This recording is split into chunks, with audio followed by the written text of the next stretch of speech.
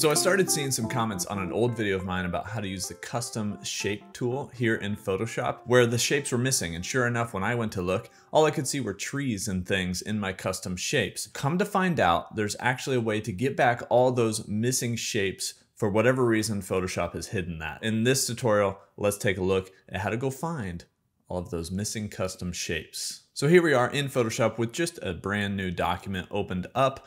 If I look at the shape tools, rectangle, ellipse, triangle, there's one called the custom shape tool. And then you can change what that shape is up here at the top of your uh, toolbar. Leaf, trees, wild animals, boats, and flowers. Those are the only options that I have, but there's way more shapes here in Photoshop. I thought maybe if I click this gear icon, I could find an option for that, but I don't actually have any option for that. What you have to do is go up to window, down to shapes.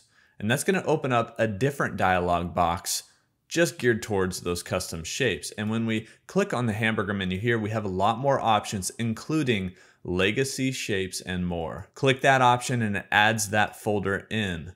And take a look at this folder. I'll go ahead and minimize this. And if we go back up here to our shapes, that folder now appears. And if we drop this down, we have absolutely tons of shapes. All the shapes that I've been used to being in Photoshop before emoticons like smiley faces. I believe we even have arrows and there's lots of different animals, sports equipment, signs, flags, all sorts of things here that you can utilize within your Photoshop documents as vector assets. That's pretty much it. It's a super short tutorial, but that's how you can get all those shapes back into your Photoshop documents and use things like arrows really quickly without having to create your own shapes. This is the custom shape tool and it's pretty powerful here in Photoshop and it has a ton of custom shapes for you to use right off the bat. That's how you get them.